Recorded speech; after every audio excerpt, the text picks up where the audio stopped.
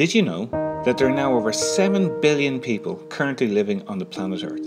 And there's only about 500 people who've ever been to space. So going into space requires taking a rocket, or until recently, taking a space shuttle through the atmosphere and entering into low Earth orbit. And that's about 300 to 400 kilometers high. And the International Space Station is where most of these astronauts go to. And there they can run experiments and they can fix satellites and maybe even do a spacewalk. Now, the space station orbits the Earth every 90 minutes or so, and it gives the astronauts a great view of the whole planet. So, what's it like being in space? Since so few people have been there, most of us don't know what it's really like. And let's face it, we all have lots of questions about being in space. So we decided to ask former NASA astronaut and shuttle pilot Greg Johnson to answer a few questions from our primary schools here in Ireland about his experience being in space. And the first question I have is why is it dark in space?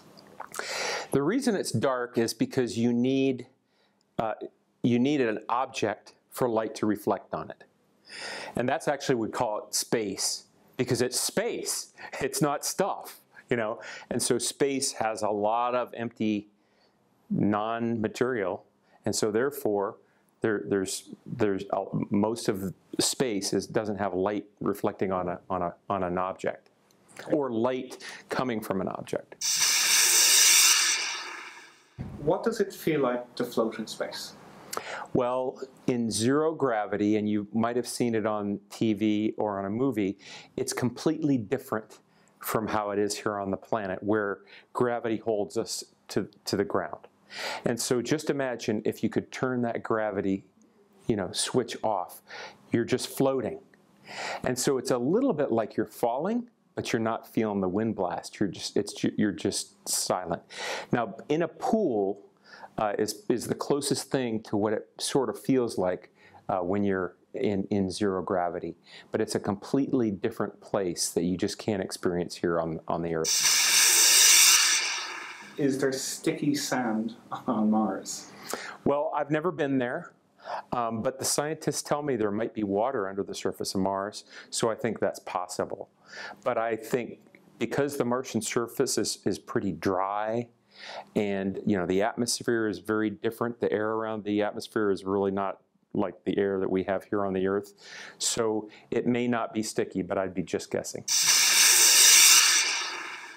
And do you ever feel lonely in space? I my flights were 16 days at a time, um, and there were times when I felt uh, alone because the space station is so big that you can get away from people for long stretches of time, five, ten minutes. Um, and as you sit there in isolation and you look back at the planet, um, you realize there's billions of people on the surface of the planet, and there's just a couple of you up there. So I, I say yes. But I've never been up there for six months or a year. I would certainly imagine, and I've been told that those astronauts do feel uh, lonely and, and they can't wait to get back to the planet. And I'll say one more thing, and that is speaking to moonwalkers, particularly they've told me that they really had the urge to get back to that beautiful planet because our planet is so beautiful uh, as observed from space and, and I've never been there but I'm told from the surface of the moon. Um, with the low gravity in space, so when you're eating or you're drinking, how do you swallow without the food just floating all the way back up?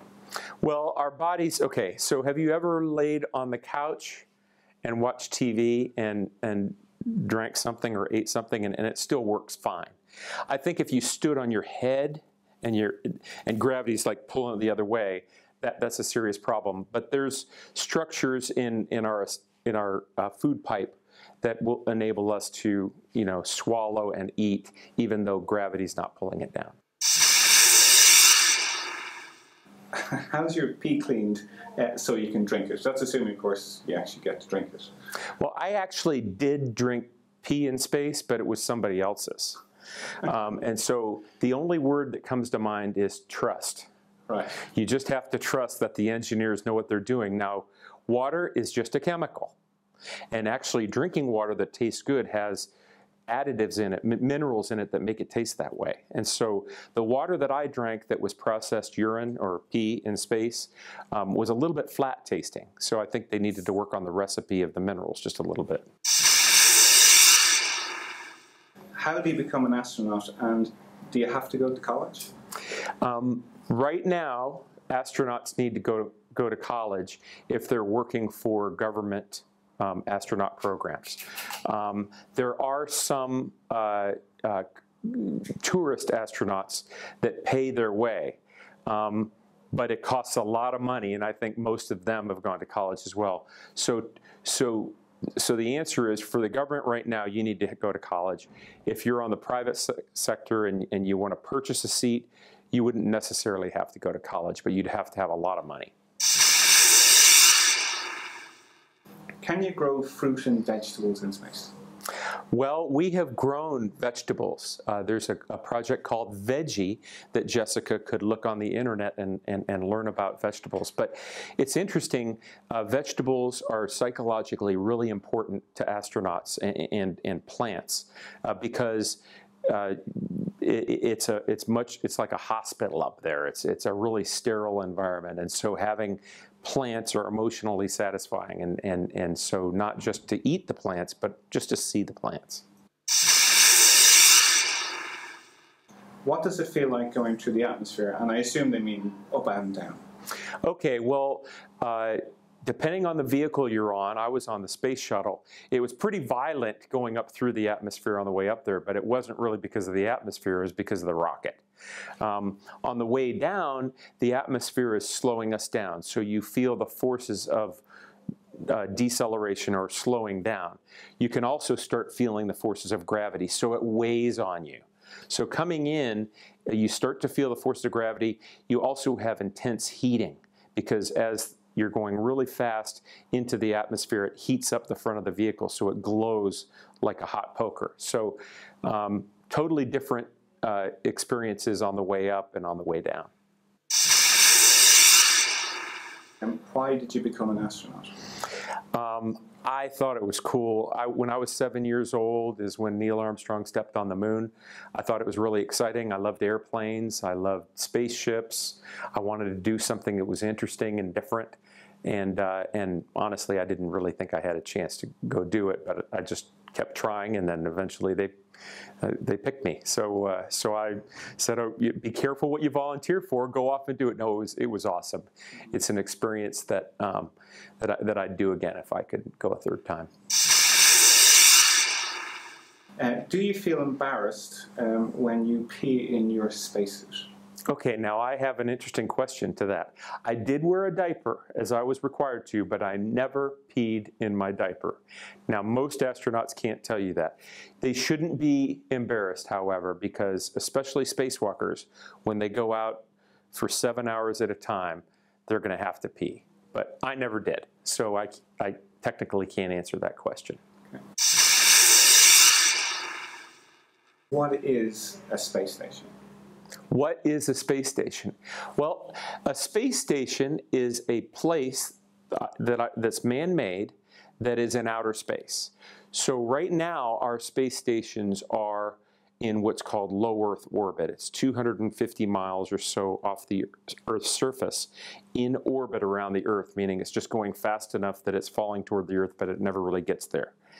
But eventually, there might be space stations at points where gravity is, is equal between bodies, like for example the Earth and the Moon, and it might sit out there and not necessarily in the kind of orbit that our space stations are now. But I'd say a space station is any man-made place, any, any uh, you know, facility that's built by humans that's out in outer space and can be visited and departed from. What kind of jobs did you have to do uh, when you're on the space station?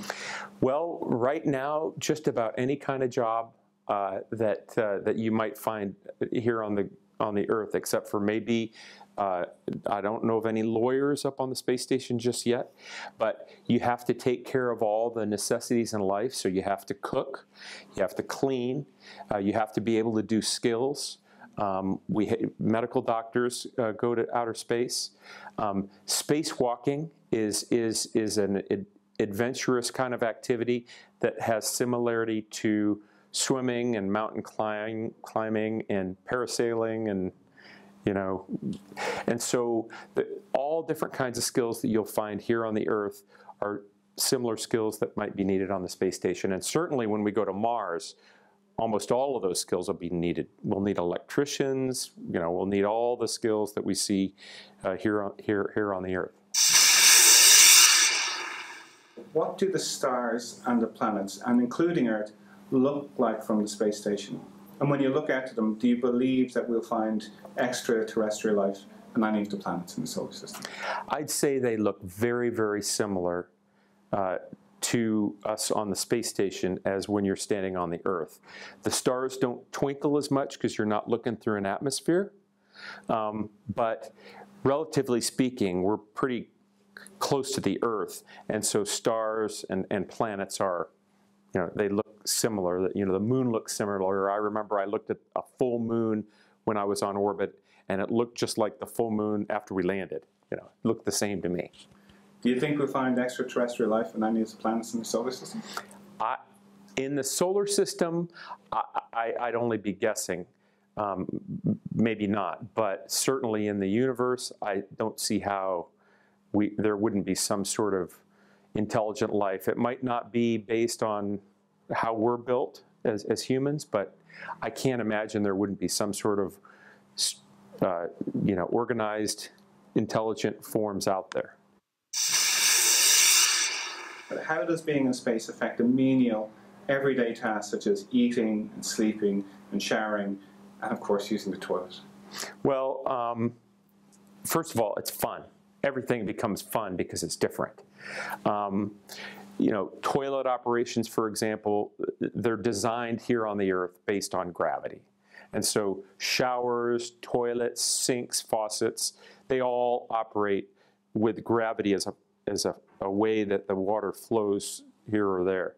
And so in space, we have to do things differently. It actually makes cleaning your body easier in space because you can just spray yourself with water and it'll just stick to your body. It doesn't have to go down into a drain, so you can spray yourself and then dry yourself off and take a shower. Going to the potty is a little bit more complex because you have to make sure that the liquid gets where it needs to go and the solid needs to get where it needs to go. So there's a, mild vacuum and a very sanitary device that we use, um, separate those two, you know, uh, two different uh, ways of using the bathroom. And, um, you know, the liquid part, we can just expel it off into space, but the solid part, we don't want to toss that out there. Uh, we bring it back with us. Okay. And just one final question. It's, um, I know a lot of preparation goes into your space trips, and, and um, but for you, uh, what is it that surprised you the most um, during your time in space? Um, I was surprised how beautiful our planet looks. Um, when, when you uh, look at photographs, at, uh, and, and you can even experience this on the ground. If you, look at photographs of fish in, in, a, in, a, a near a coral reef, um, it, it looks beautiful. But when you're there seeing the fish, it's just, it's, it's a different experience. And so with me, looking at our planet, um, and of course, we're going around the Earth every 90 minutes. And so we're, we're covering uh, a large portion of the populated landmass of our planet. And we have so many wonderful places on the planet to look at. And there's no borders on any of the on any of the countries, and um, and the colors, and just the the the beautiful um, places all around the world make make me want to travel there. So I was really surprised. I knew I would be, but we, all the geometry, all the tasks that we practiced on the ground in simulators uh, were um, very not surprising. Everything looked and operated as expected, but the backdrop, the planet behind that, is what was so surprising. Greg, listen, thanks for taking the time. It's been a pleasure talking to you, and um, I hope to see you again sometime. Thank you. Thanks.